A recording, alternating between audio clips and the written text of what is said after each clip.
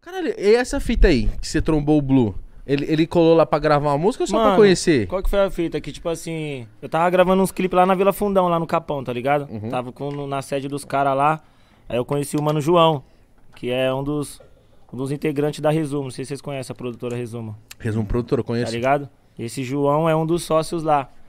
Aí eu fazendo uns trampos com o João, de artista, pai, e eu falando pra ele que era fãzão do, do Racionais. Eu tinha até uma música que eu tinha feito pros caras que eu queria mostrar. Caralho. Tá ligado? Aí ele foi e me apresentou o Blue. Aí nós marcou, justamente no dia, o Blue tava pela Zona Leste.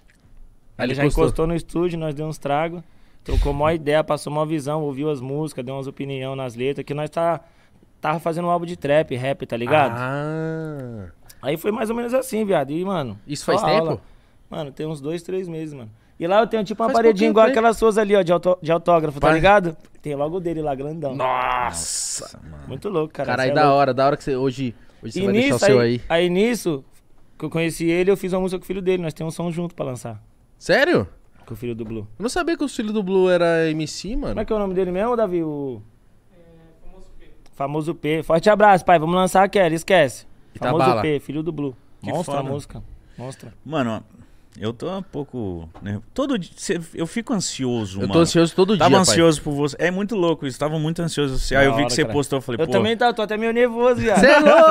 é sério mesmo, papo reto. Eu Falei, caralho, da hora tá aqui, viado. É, é, é foda, é maior responsabilidade a gente conversar com essas pessoas. Ah, pra mim é muito da hora, porque são pessoas que eu acompanho o trampo, curto, e tem a oportunidade da pessoa se sentir à vontade e Sim, querer sim. colar aqui, é muito da hora, tá ligado? Pai, amanhã, pode anotar, vocês vão ter, mano, uma aula.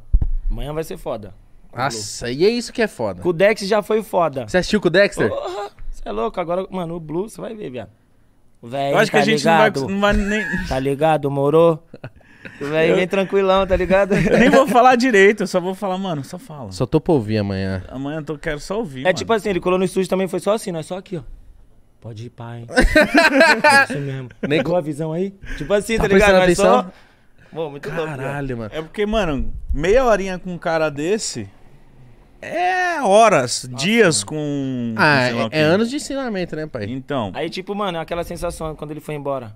Caralho, não acredito que o Blue veio aqui, caralho, o Blue veio aqui, mano. Tipo, tá ligado, cuzão? Viado, a gente fica assim, a gente fica assim. tá- Máxima. A gente tem uma parede que é de assinaturas, a gente tem uma parede que é de fotos. Então, achei muito foda isso, hein, cuzão, das fotinhas. Muito louco. pra registrar o momento físico, mano. Foda. Porque às vezes só no celular você perde, mano. Sim, sim. e, e uma. um- Lembra aquele, aquele lance de ter o álbum, tá ligado? Sim, tá ali, ó. A exatamente. gente olha pro bagulho e lembra. É, pra galera foi. entender o porquê da foto assim, que você olha com ela na parede.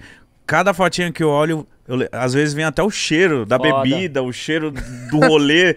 É De muito como foi o dia, né? cara. Você fica olhando as fotinhas, você lembra de tudo.